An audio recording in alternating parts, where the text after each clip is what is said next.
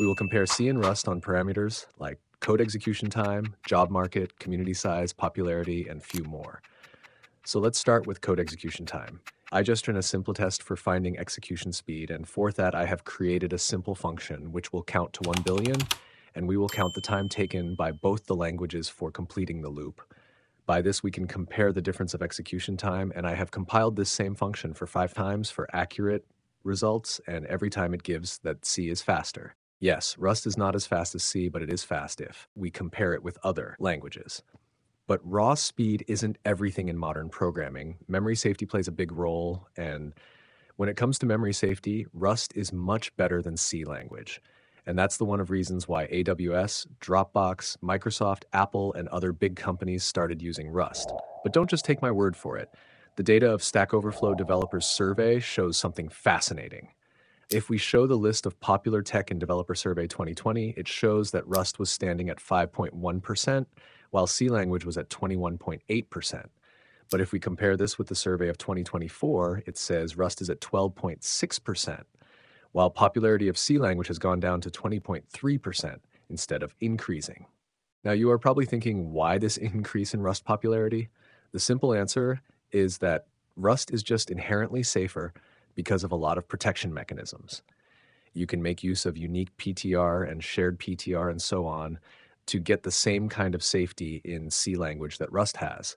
But with Rust, it's the default behavior. And the fact is that it's inbuilt in the language, which also means that mistakes don't create runtime errors, they create compile errors.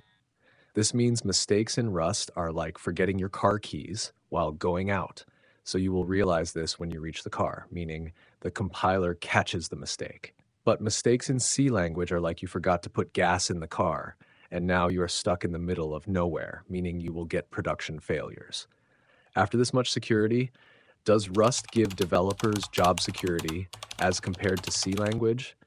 The answer is complicated, but in favor of Rust. Because as we move forward, more and more companies are switching towards Rust, so there will be job openings for this. But if we compare it to C language, C is everywhere. It's used in space rockets, cars, ships, hardware. So C already being used in so many places requires many developer jobs to, to manage this. So C is still a good career option, but Rust will create new opportunities in the future. So the final question is, is Rust a replacement for C language? Unfortunately, it probably won't, won't be a replacement for C because of two reasons. C has a lot of code out there and a lot of prior knowledge, experience, and default choices in the industry, perhaps more than any other language. That's a mighty rolling boulder of force that we're trying to hold back with a feather. So, in my opinion, Rust is still young and doesn't really have quite the same strong standard libraries and community which C language has yet. And the question isn't if Rust will thrive, but how big it will become.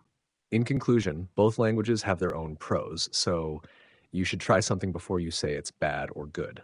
Also, do you know butterflies have taste receptors on their feet that help them find food? This sentence is not at all related to the topic, but I feel like saying it.